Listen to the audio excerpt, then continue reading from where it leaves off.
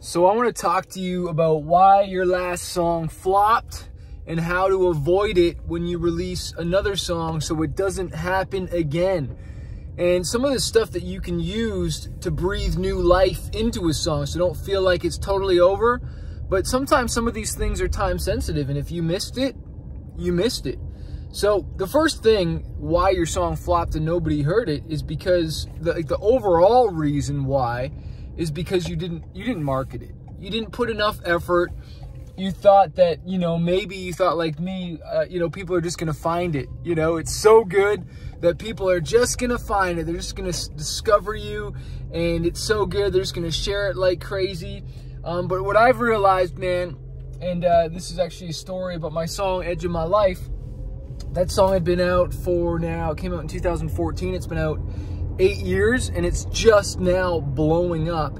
And that's because somebody took it and they put a cool video and that ended up going viral and getting shared. And now the song has gone viral in, in China. And uh, it's already done really well in North America.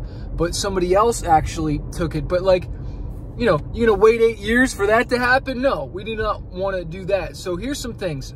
Number one, did you email your email list about it? You're like, Chris, I don't have an email list.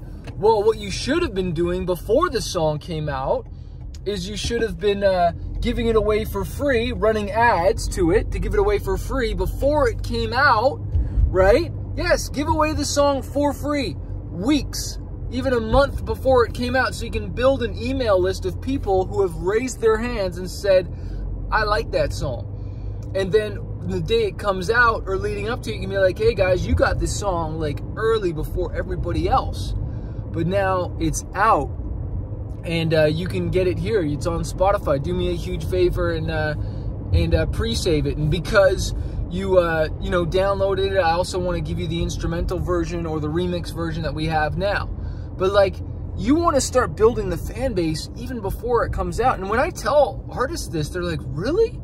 Won't that screw up the release by giving the song away for free before it comes out?" I'm like, "Bro, nobody's ever heard of you." Nobody's ever heard of you. You can you can't screw up the release. It's not like you're Adele or Eminem or you know Jack Harlow or whoever it is, Drake, and, and, and it's gonna be like some leaked song. But then again, like for guys like that, they want that stuff leaked. Like the problem isn't anymore like, oh, people stealing my stuff and it getting out there before the desired date. The problem is nobody knows who you and I are. We are in obscurity. They don't know who we are. So you need to do everything you can. So you you you, think spending 10, 15, even $100 a day giving away your song for free to build an email list, you think that's going to like mess up your song release? Absolutely not. If anything, it's going to give you more impressions, more people being aware of you or even know you exist before your song drops and creating buzz around it and awareness so that by the time the song finally does drop, a lot of people can be like, hey, oh, I remember that. I remember seeing that guy's ad or that girl's ad, or they're on your email list, so you've been building the relationship with them, and and now you can actually email them that the song is out, or now that the music video is out, right? So you need to be promoting and marketing way before the song drops, and you didn't do that. So there's your excuse about building your email list, and we're just on the one thing that you can do. Let me ask you this. Did you tell all your friends, all your family members about the song? Did you email them? Did you text them? Did you Facebook message them? Did you post it on your personal and band page? Like, like did you tell all your friends? And because when I have a big release, I, I, tell all my friends, like I, I make sure everybody knows. And when you're just starting out, you cannot like just be like, oh, well, I don't want to bother them or I don't want this or you, you despise small beginnings when you really want to get as much support and much help as you can. All right. Now, is it going to be weird? Like you could, you could still email friends if you want to re, uh, reignite a campaign. You could be, you could still build an email list right now. Like, who cares if the song is out? Start giving away the song for free. Start building the email list right now. You could still text, email all your friends about it and, and bring the awareness about it, right? One thing that I see a lot of artists miss, and it's okay if you've missed this, it's a simple one, I've talked about a lot, but you didn't pitch it to the Spotify playlists okay, in your artist's dashboard, your Spotify dashboard, which you can do, okay? You got to be able to do it at least two weeks before the release comes. Um, you got to do that at least two weeks before the release drops. Um, you didn't pitch it to the Amazon playlists, okay? And you can do that, I think, up to a few days or a week after the release with Amazon. So that's kind of cool. I have not had a ton of success with Amazon playlists from me pitching it. I have had success though by hunting down and finding out who is in charge of the playlists on Apple and Amazon and contacting because there's people that are in certain roles for playlists. Like they're in charge of the rock playlist, they're in charge of the hip hop playlist, they're in charge of the country playlist, they're in charge of the Christian playlists on Amazon at Apple, right? And you want to find out who those people are. All right? We have a song coming out this Friday. And one of the things that I'm going to be doing for this song, I don't do it for every single song, but for this song, I'm going to email a certain list of radio promoters that I've built up over the years. And I'm going to tell them about the song. And I know a lot of them are going to play the song. They're going to add the song to radio, and that's going to be a way of me getting the song out there. Have you ever made a list of your local radio stations? The small ones, the big ones, and started finding who are the PDs, who are the program directors, and hit them up, right? Like all these things that you're doing, and, and they might sound like a lot, and there's way more than I'll probably have time to go in for this video, but when you start stacking these upon a release, and you get help, you get a brother to help, you get a sister to help, you get a family member to help, to, to, to start finding out who these people are and, and doing all these things, this starts amplifying this the potential for success of your song. So it doesn't flop, right? And the, the good thing about if you play shows, I'm not playing shows right now, but the, the good thing about you getting involved in the, the local scene and program directors and getting played, if you if there's a radio station that plays your style of music, and I'm sure there is, I'm sure there's a college station, right? There's a chance that you can hopefully promote on their show when you have a live show. You can promote the, the show when you when you're when you're touring, and you can go do an interview, and hopefully you can get put on a show or put on a festival and, and growing. And, and this is one of the things, like so, so many of us, because of online, yeah, you can reach people worldwide. Like I've toured China once and, you know, now would be the time for me to tour China. Not that I want to go back there. Um, but we toured uh, Beijing and we did, I can't remember the other city we played. We played two shows there. Uh, what was the other one? Ah, I can't remember it.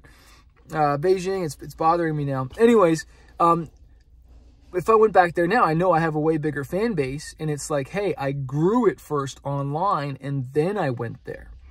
And that's just one of the, the biggest takeaways and things that I, I realized. It's like, so for so long, I was trying to build my fan base by touring, which is one way to build it, but not by going out on your own. You'd want to do that by buying onto a tour right?